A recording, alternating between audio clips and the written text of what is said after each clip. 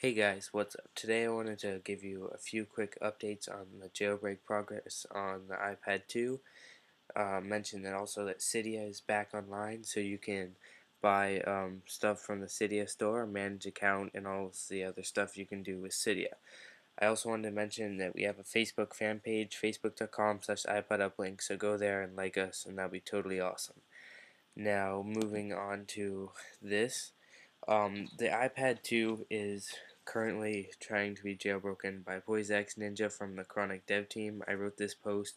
You can go to the site with the link in the description and look at the last few posts, which are the ones I'll be talking about in this video.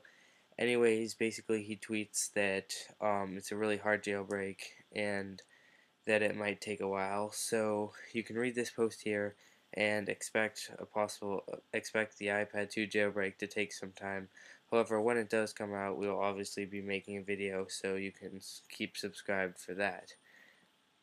Now, another thing I wanted to show you is there's this cool tool called IPSW Downloader, and what this does is basically a file you can use on your Mac, and you can select your device and select the firmware you want to download, and it will simply just download it. That's what the whole program is and it's pretty nice for jailbreakers. If you want to try it out, you can just go to the post and click here to download it. And like I said before, the last thing I wanted to say is Cydia is back up. All the Amazon issues are gone, or at least they are temporarily gone, and Cydia is up. So you can do everything you can normally do. And um, is sorry for the inconvenience.